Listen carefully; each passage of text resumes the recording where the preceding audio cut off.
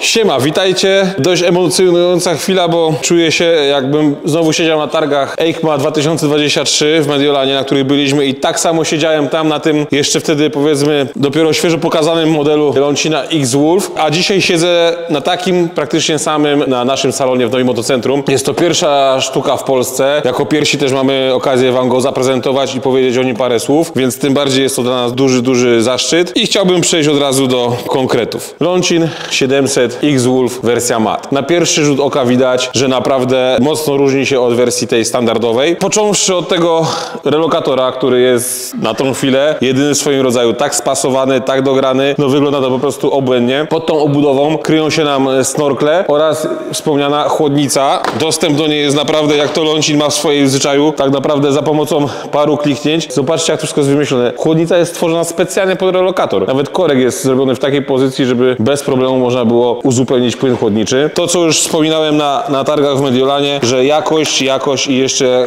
raz jakość w przypadku Lącina to jest naprawdę to, o czym mówimy od początku. Tutaj jest wszystko na wciski, więc trzeba raz, parę razy puchnąć, ale jest to po prostu chwila, moment i mamy to zdemontowane. To, co też widzicie tutaj z przodu, to na pewno masywny y, przedni bumper. Z tego, co wiem, powinny być dostępny też akcesoryjnie, więc doposażyć będziecie mogli inne, inne swoje pojazdy w tego typu bumper, ale to wszystko zobaczymy, jak już pojazdy przypłyną, czy przyjadą i będą w stałej ofercie w sprzedaży. Podkreślam, że na razie jest to wersja demo, testowa, nie jest to model sprzedażowy. Seryjnie pojazd oczywiście jest też wyposażony w osłony spodu. Bardzo fajne, rozbudowane, ta płyta wysoko wychodząca, bardzo duży plus. Opony typowo błotne, 27 na pięknych felgach 14.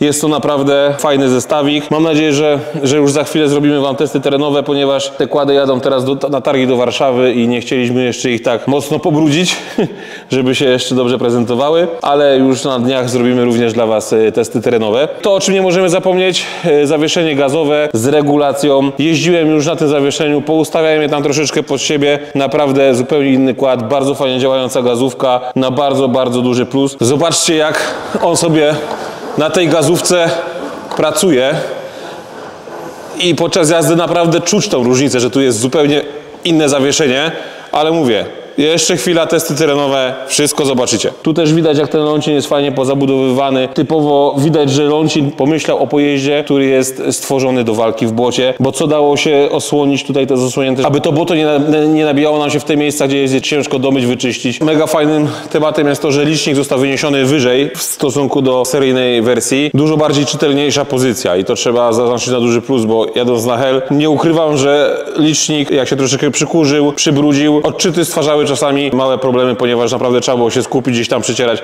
Tu ten licznik jest wyżej, naprawdę tak dużo bliżej wysokości oczu, więc naprawdę łatwiej odczytać jakiekolwiek parametry. Z tyłu tak samo, zawieszenie gazowe, oczywiście to, samo koło, masywny, bardzo fajny bumper, fajnie wykonany, dobrze spasowany. Po raz kolejny się powtórzę, zapewne w tym filmie, Launching to jakość, jakość i przede wszystkim jeszcze raz jakość i to widać na każdym kroku przy tym pojeździe. Oczywiście Model ten jest wyposażony we wszystko to, co standardowy X-Wolf 700, więc wspomaganie, wyciągarkę, hak holowniczy, wszystko tutaj to, to, to oczywiście jest dostępne. Gniazdo USB, gniazdo zapalniczki, oświetlenie LEDowe, moc została bez, bez zmian z tego, co, y, co na razie mamy z danych katalogowych. Prześwit, na pewno zmienił się prześwit, bo prześwit według katalogu to jest 31 cm.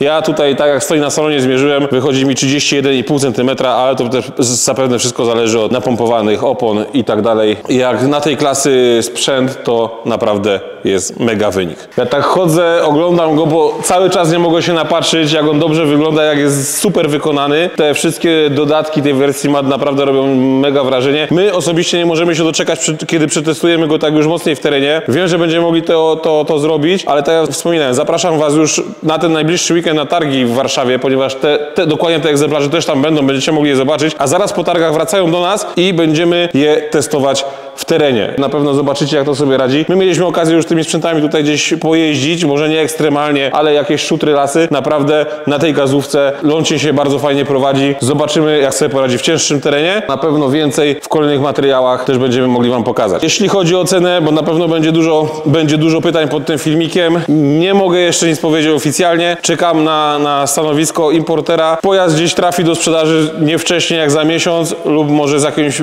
dłuższym, dłuższym czasem. Cena Jak wiecie, zależy od kursu waluty, ceny transportu, więc też może importer się nie chce deklarować, bo nie wiemy, jak to będzie wyglądało za miesiąc, ale myślę, że na pewno będzie to bardzo rozsądna propozycja cenowa. Jeżeli tylko będziemy znali już jakieś konkrety i będziemy mogli podać tą cenę, będziemy jako pierwsi Was o tym informowali. A ja kończę. Czekam na testy terenowe takie z, z prawdziwego zdarzenia, które oczywiście też dla Was nagramy. I co? Lecę, ogram dla Was jeszcze model 550.